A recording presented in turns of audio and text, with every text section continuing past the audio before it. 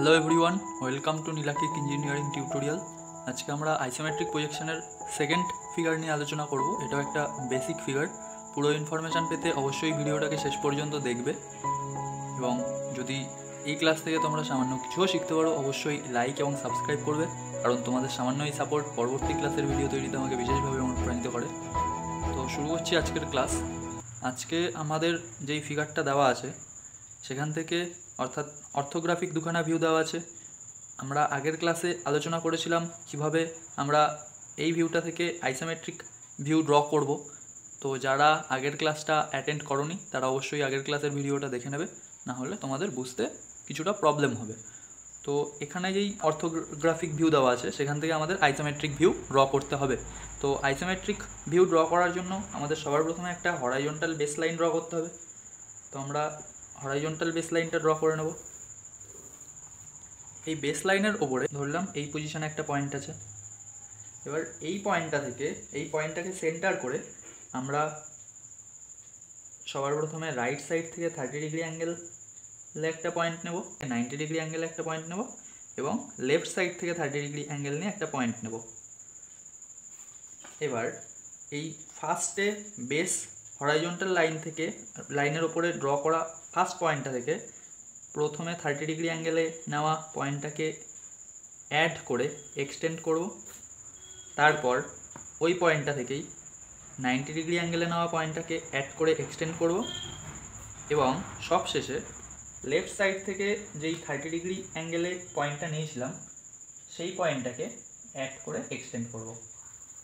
এর ফলে আমরা তিনটে অ্যাক্সিস পেলাম।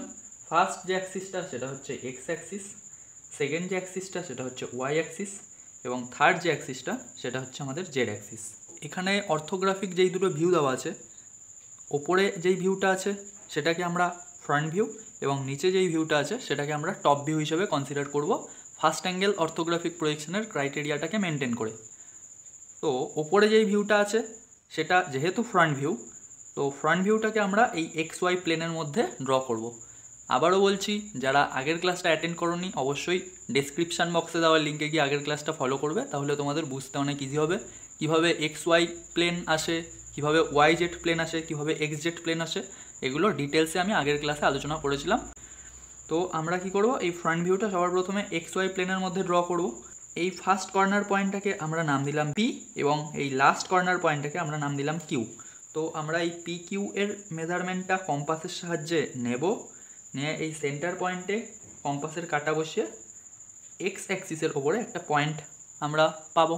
আমরা কি করব? যেখানে পয়েন্টটা পেলাম, সেখানে একটা নাইনটি ডিগ্রি লাইন ড্র করব। অর্থাৎ এই ওয়াই অ্যাক্সিসের সঙ্গে প্যারালাল করে আমরা একটা ভার্টিক্যাল লাইন ড্র করব। আমরা দেখতে পাচ্ছি কি? পি পয়েন্ট থেকে টেন এমএম হাইট ওপরে উঠেছে। তো আমরা যেহেতু এই পয়েন্টটাকে পি হিসেবে কনসিডার করছি এবং এই পয়েন্টটাকে কিউ হিসেবে কনসিডার করছি তো আমরা এই পি পয়েন্ট থেকে কম্পাসের সাহায্যে টেন এম মেজারমেন্ট করব এবং এই পি পয়েন্টে বসিয়ে ওয়াই অ্যাক্সিসটায় ওয়াই অ্যাক্সিসটার ওপরে একটা পয়েন্ট পাবো। একইভাবে আমরা এই কিউ পয়েন্টেও বসিয়ে টেন ওই মেজারমেন্টটা নিয়েই এই ভার্টিক্যাল লাইনটার উপর একটা পয়েন্ট পাবো। নেক্সট আমরা কি করব? না, এই দুটো পয়েন্টকে অ্যাড করব হালকাভাবে। তাহলে আমরা কি এই এক্স অ্যাক্সিসের প্যারালালে একটা লাইন ড্র করতে পারলাম। নেক্সট আমরা কি করব? আমরা দেখতে পাচ্ছি এই পি পয়েন্ট থেকে আমরা টেন এম এম ভার্টিক্যাল ডাইরেকশানে ওঠার পরে, যেখানে গিয়ে শেষ হচ্ছে ভার্টিক্যাল লাইনটা সেখান থেকে আবার চল্লিশ এম এম রাইট হ্যান্ড সাইডে গেছে। তো আমরাও কি করব? এই পি পয়েন্ট থেকে ভার্টিক্যাল ডাইরেকশানে টেন এম এম ওঠার পরে, এই পয়েন্ট থেকে আমরা চল্লিশ এম এম রাইট সাইডে গেলে, এখানে একটা পয়েন্ট পাবো। যেখানে আমরা পয়েন্টটা পেলাম, সেই পয়েন্টের উপরে একটা ভার্টিক্যাল লাইন ড্র করব, যেটা হবে ওই ওয়াই অ্যাক্সিসটার সঙ্গে প্যারালাল এরপর আমরা এই কিউ পয়েন্টটা যেখানে শেষ হয়েছে, সেখান থেকে একদম টপ পর্যন্ত মেজারমেন্ট নেব কম্পাসের সাহায্যে এবং আমাদের এই আইসোমেট্রিক ভিউয়ের কিউ পয়েন্টে কম্পাসটা বসিয়ে এই ভার্টিক্যাল লাইনটা একটা কাট করব। তাহলে আমরা একটা পয়েন্ট পাবো। একইভাবে এই পয়েন্টে বসিয়ে আমরা এখান থেকে এই টপ পর্যন্ত মেজারমেন্টটা নেব, অর্থাৎ টোয়েন্টি এম এম মেজারমেন্টটা নেব। নিয়ে এই আগের পয়েন্টটায় বসিয়ে এখানে একটা মার্ক করব, তাহলে আমরা এখানে একটা পয়েন্ট পাবো। তো আমরা যেই দুটো পয়েন্ট পেলাম, এই দুটো পয়েন্টকে আমরা অ্যাড করে দেবো। আলটিমেটলি আমরা ফ্রন্ট থেকে দেখলে ঠিক যেই ফিগারটাকে দেখতে পাচ্ছিলাম, আমরা আমাদের এই এক্স ওয়াই অ্যাক্সিসের মধ্যেও ঠিক সেই ভিউটাকে দেখতে পাচ্ছি। তো এখন কি করব? এই যে ভিউটাকে দেখতে পাচ্ছি, এই ভিউটাকে আমরা ডার্ক করে দেবো। তোমরা ডার্ক করার জন্য এইচবি পেন্সিল ইউজ করতে পারো। এতক্ষণ আমরা যতগুলো লাইন ড্র করলাম, সবগুলো ফোর এইচ বা টু এইচ পেন্সিল দিয়ে ড্র করেছিলাম, যেহেতু এই লাইনগুলো হালকা হয়েছিল। তো আমি শুধুমাত্র তোমাদের বোঝানোর জন্য একটা পেন ইউজ করছি, যাতে বুঝতে সুবিধা হয়। অর্থাৎ আমরা ফ্রন্ট থেকে দেখলে যেই যেই লাইনগুলোকে দেখতে পাবো আমরা শুধুমাত্র সেই লাইনগুলোকেই ডিপ করব। আর বাকি যেই লাইনগুলোকে আমরা ফ্রন্ট থেকে দেখতে পাবো না, সেই লাইনগুলোকে আমরা ইরেজ করে দেবো, অথবা আমরা সেই লাইনগুলোকে ড্র করবই না।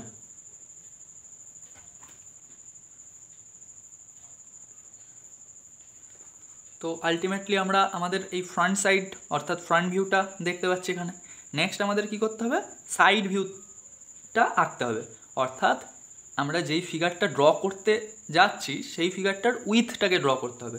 তো আমি আগের দিনের ক্লাসেই বলেছিলাম কি আমরা টপ ভিউটার যে হাইটটা হবে, সেটাই হবে এই ভিউটার উইথ অর্থাৎ আমরা দেখতে পাচ্ছি টপ ভিউটার হাইট আছে থার্টি এমএম তো আমরা যেখানে ফ্রন্ট ভিউটা আঁকা শুরু করেছিলাম, এই পি পয়েন্ট থেকে, আবার লেফট হ্যান্ড সাইডে যদি আমরা থার্টি এমএম যাই, তাহলে সেটাই হবে এই ভিউটার উইথ তো আমরা কি করব? এই থার্টি এমএমটা কম্পাসের সাহায্যে মেজার করব। দিয়ে এই পি পয়েন্টে বসিয়ে এই জেড অ্যাক্সিসের ওপরে একটা পয়েন্ট মার্ক করব। নেক্সট আমরা কি করব? এই যে পয়েন্টটা পেলাম, এই পয়েন্টটা থেকে একটা ভার্টিক্যাল লাইন ড্র করব ওয়াই অ্যাক্সিসের সঙ্গে প্যারালাল করে।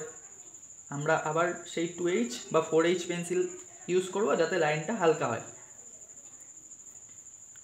নেক্সট আমরা কি করব? না, এই টেন এমএম হাইটটাকে কম্পাসের সাহায্যে মেজার করে এই পয়েন্টটার উপরে বসিয়ে আমরা এখানে টেন এম এম কাট করব। তারপরে এই দুটো পয়েন্টকে আমরা অ্যাড করে দেবো।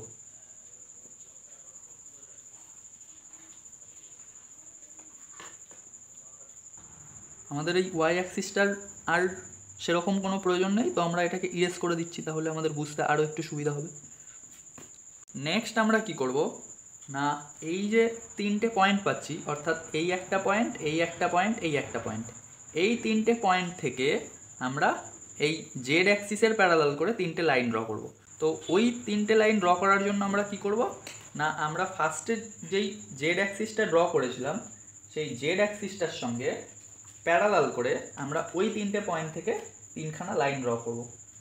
তো তোমরা এই প্যারালাল লাইন ড্র করার জন্য মিনি ড্রাফটার ইউজ করতে পারো।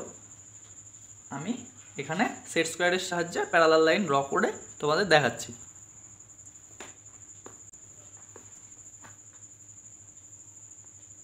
তো আমরা ফার্স্ট পয়েন্টটা থেকে একটা প্যারালাল লাইন ড্র করলাম জেড অ্যাক্সিসের সঙ্গে।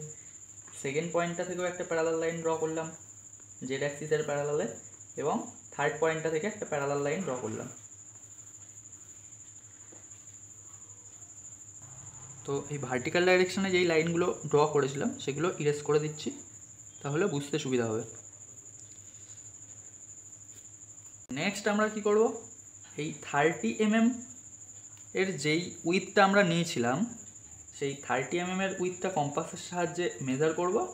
মেজার করার পরে ফার্স্ট পয়েন্ট থেকে এই লাইনটাকে কাট করলে একটা পয়েন্ট পাবো সেকেন্ড পয়েন্ট থেকে এই লাইনটাকে কাট করলে একটা পয়েন্ট পাবো, এবং থার্ড পয়েন্ট থেকে এই লাইনটাকে কাট করলে একটা পয়েন্ট পাবো। নেক্সট আমরা কি করব? এই পয়েন্টটার সঙ্গে এই পয়েন্টটাকে যুক্ত করব। যুক্ত করলে আমরা এরকম একটা লাইন পাবো। নেক্সট এই পয়েন্টটার সঙ্গে এই পয়েন্টটাকে যুক্ত করব। যদি যুক্ত করি, আমরা এরকম একটা ভার্টিক্যাল লাইন পাবো। আর সব শেষে এই পয়েন্টটার সঙ্গে এই পয়েন্টটাকে যুক্ত করব, তাহলে আমরা এরকম একটা লাইন পাবো। তো এবার আমরা এই লাইনগুলোকে ডিপ করে দেবো।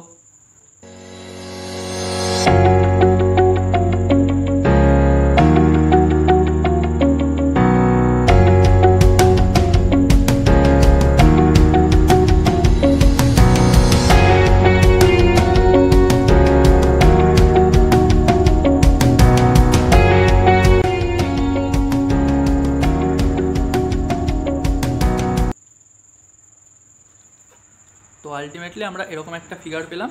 এবার আমরা এক্সেস যেই লাইনগুলো অর্থাৎ যেই লাইনগুলো আমাদের প্রয়োজন নেই, সেগুলোকে আমরা ইরেজ করে দেবো এবং আমরা যেই পি কিউ মার্কিং করেছিলাম, সেগুলোরও কোনো প্রয়োজন নেই, তো সেগুলোকেও আমি ইরেজ করে দিচ্ছি।